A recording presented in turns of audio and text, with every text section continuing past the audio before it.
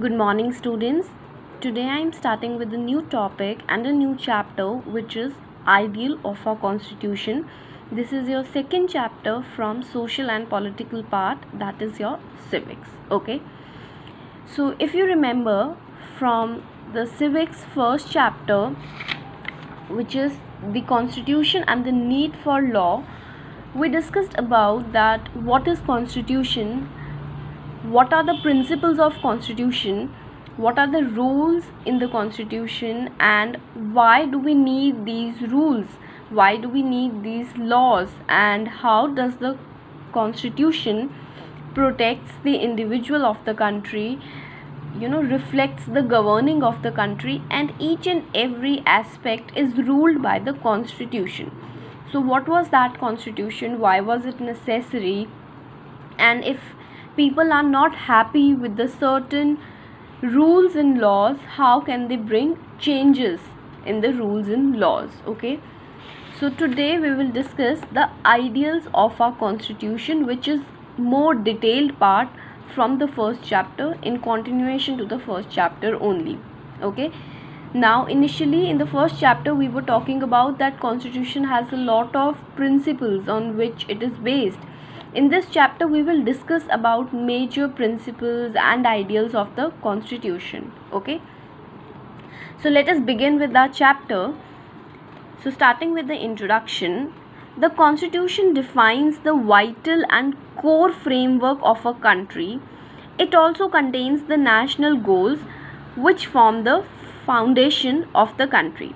So basically what is the constitution we are all aware of? Apart from that we need to understand that it is a very important and core framework of a country okay? It is a kind of document in which every kind of framework related to a country is written okay? And it contains the national goals which form the foundation of the country.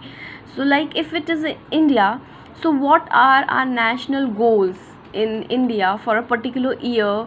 Or you know uh, for a decade or something like that.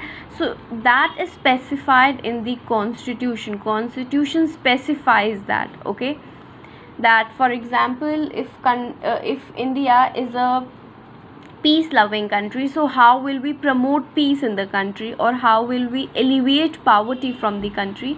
So these are the goals the national goals. So these uh, your constitution lays the foundation of a country okay let us just have a very brief intro about the constitution.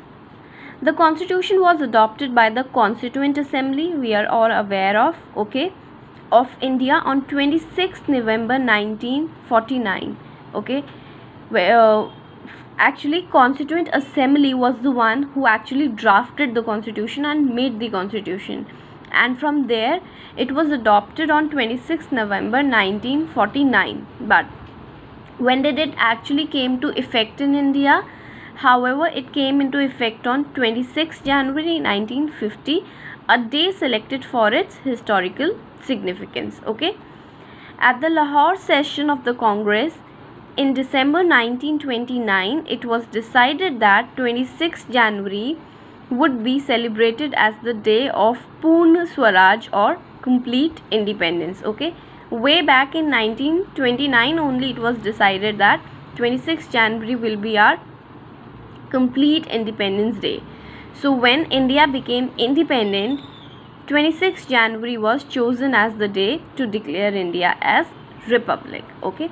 Now we need to understand what is republic. These are small little little things which we are always confused with and we actually don't get clarity in so when I say India is republic, it means a state in which supreme power is held by the people and their elected representatives and which has an elected or nominated president rather than a monarch. So basically a republic in general is a kind of state in which who is having the supreme power?